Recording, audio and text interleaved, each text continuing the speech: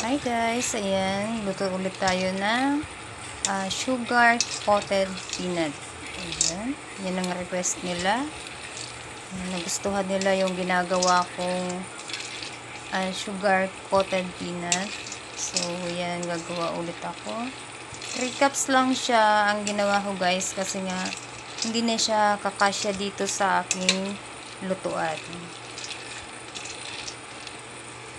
Lutuin ko muna siya dyan ng mga 7 minutes. Medium heat lang po. Mamaya ihinaan ko din siya.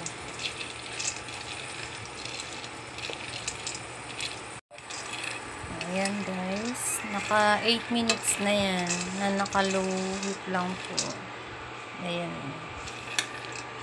Ganyan muna siya ginagawa ko para nagiging crispy yung kanyang yung ano niya.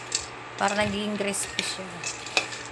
Niluluto ko muna siya ng ganyan, nang walang mantika or tubig, bago ko siya niluluto sa asukal. Ayan guys, uh, tatlong cups yung ating peanut, tapos yung asukal ko ay uh, almost 2 cups. Tapos lalagyan ko siya ng tubig ng uh, mahigit 1 cup.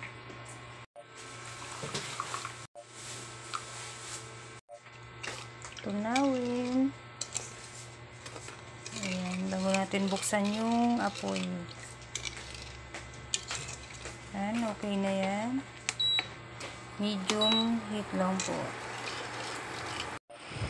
Yan, pag ganyan na, pwede natin ilagay yung mani.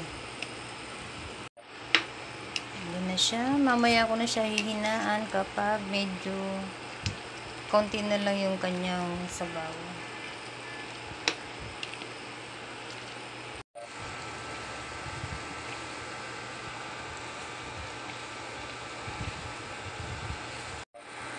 Ayan siya guys, luto na. Ayan, mahirap lang siyang haluin.